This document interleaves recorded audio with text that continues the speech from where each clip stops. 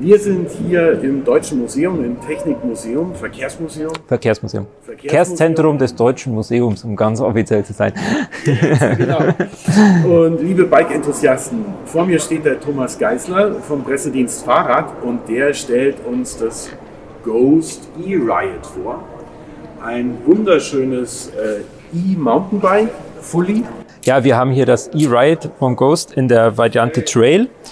Ähm, ja, es ist ein schönes E-Mountainbike für den Alltagseinsatz oder besser gesagt für, für jeden, der Bock auf E-Mountainbiken hat. Einfach mal raus in den Wald und los für bergauf und bergab. Der Spaß ist da.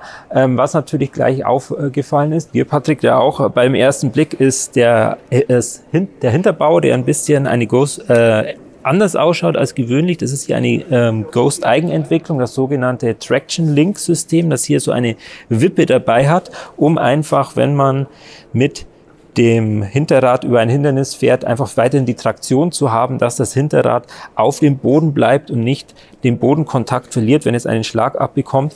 Und das ist eigentlich ganz praktisch. Ich bin jetzt auch ähm, mit einem unmotorisierten Ghost zwei, dreimal gefahren, dass das Traction Link System hat und man merkt einfach, wie toll das ist und ich konnte dann auch Wege runterfahren, äh, die ich mich normalerweise nicht getraut hätte. Und ähm, ja, das ist einfach ein, ein schönes System und macht auch richtig viel Spaß damit, unterwegs zu sein. Mhm. Was noch eine Besonderheit jetzt ist oder was Neues bei Ghost ist die sogenannte Superfit-Geometrie. Mhm. Ähm, das ist damit auf sich? Ja, das ist ein neues ergonomisches Konzept, weil ähm, bei Ghost haben sie verschiedene Studien durchgeführt und Körperdaten ausgelesen und sind zur Erkenntnis gekommen, dass mh, Leute im selben Größencluster eigentlich auch dieselben Proportionen haben. Also diese gleiche Armlänge, gleiche Beinlänge.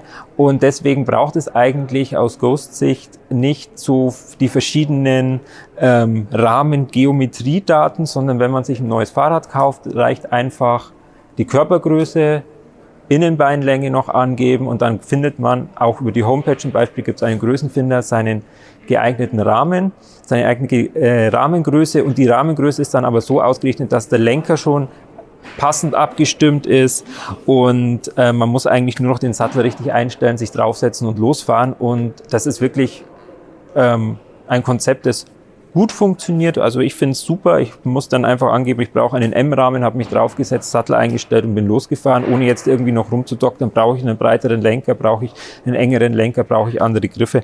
Und ähm, das macht einfach, einfach Spaß und da ähm, muss man einfach sich drauf setzen und kann sich wohlfühlen. Der Motor ist sicherlich für dich noch interessant und die Akkuleistung. Wir haben hier den, einen Bosch-Motor, eine Performance Line äh, CX mit einem 625, 625 äh, Wattstunden Akku.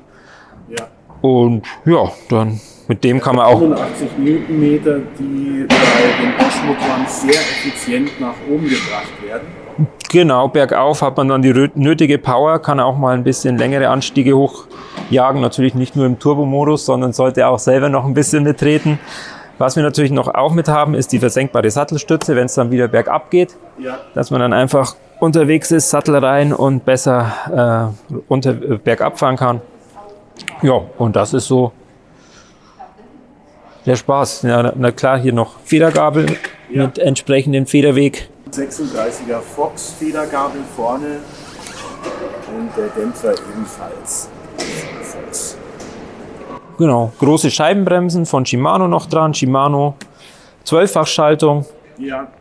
Also alles, alles, was man am Mountainbike liebt und jetzt schätzt beim neuesten Stand der Technik, sieht man hier nochmal. 203er Scheiben bei den Bremsen mit einer Shimano SLX Bremse vorne und hinten. Genau. Cool. Thomas, tausend Dank. Bitteschön. Ich hoffe, euch hat das Video gefallen und wenn euch das Video gefallen hat, hinterlasst uns einen Daumen nach oben, abonniert den Kanal, Glocke nicht vergessen, dann kriegt ihr regelmäßig die Infos. Vielen Dank. Ciao.